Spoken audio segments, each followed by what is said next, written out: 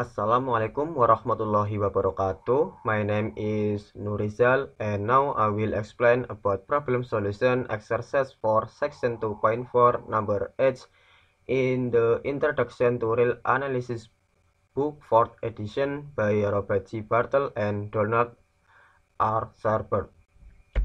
And the problem is let X be a non-empty set and let F and G be defined on X and have bounded range in R so that suprema of fx plus gx for x belong to big X less than or equals to suprema of fx for x belongs to big X plus suprema gx for x belongs to big X.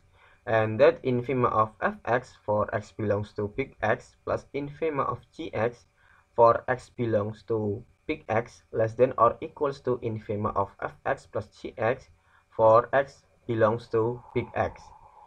Give example to show that each of these inequalities can be either equalities or strict inequalities.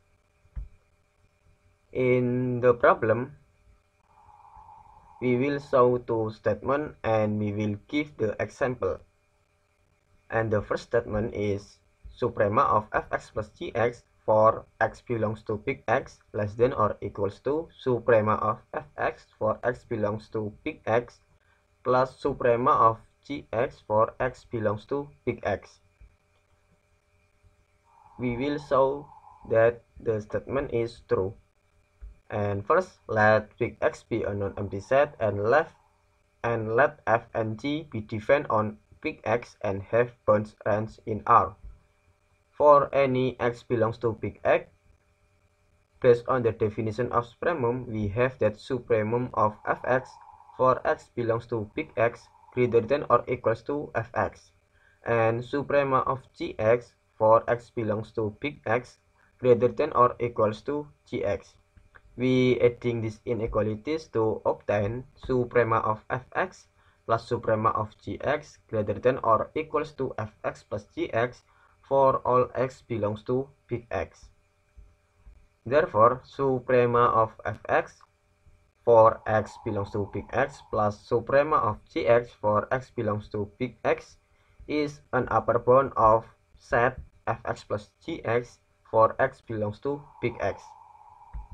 Since supremum of a set is its least upper bound, then we have supremum of fx plus gx for x belongs to big X less than or equals to suprema of fx plus suprema of gx for x belongs to big X.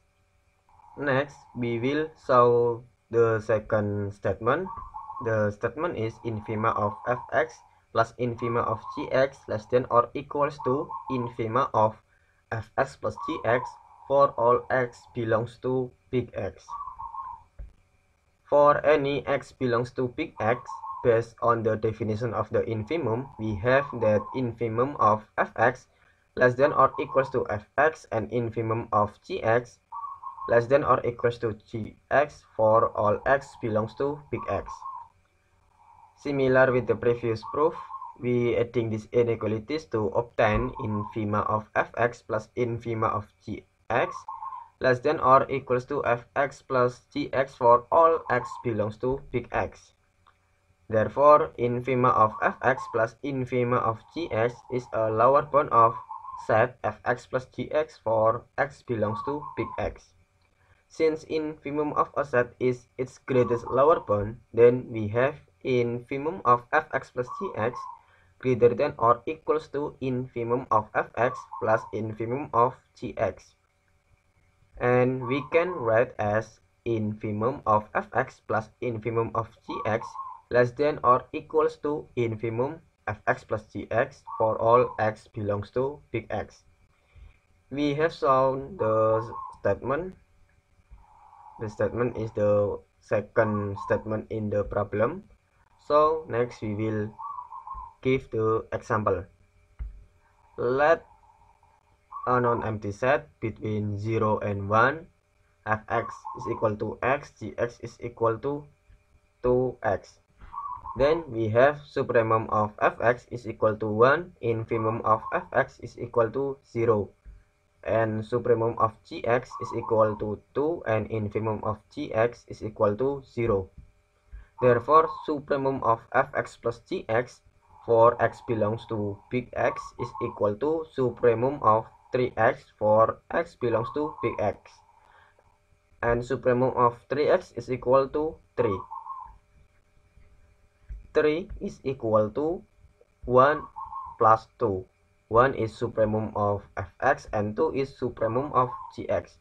So, supremum of fx plus gx for x belongs to big X is equal to supremum of fx for x belongs to big X plus supremum of gx for x belongs to big X.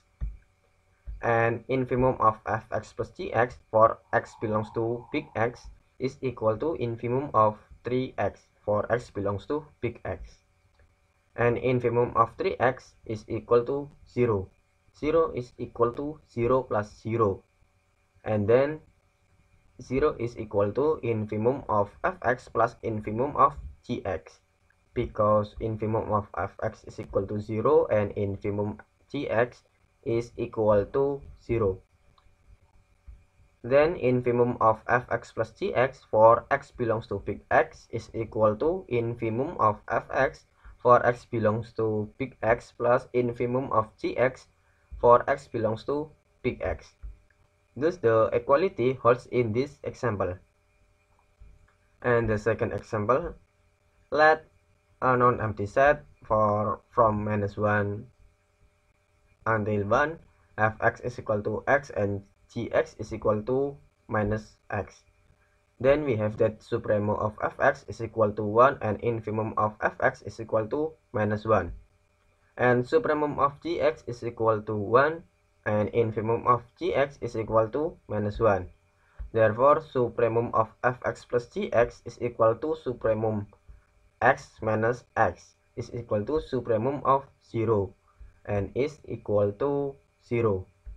0 less than supremum of fx plus supremum of gx because supremum of fx is equal to 1 and supremum of gx is equal to 1. So 0 less than 2. Then we conclude that supremum of fx plus gx for x belongs to big X less than supremum of fx for x belongs to big X plus supremum of gx x belong to big X. And infimum of fx plus gx for x belongs to big X is equal to infimum of set 0. And infimum of 0 is equal to 0. 0 greater than infima of fx plus infima of gx because infima of fx is equal to minus 1 and infima of gx is equal to minus 1.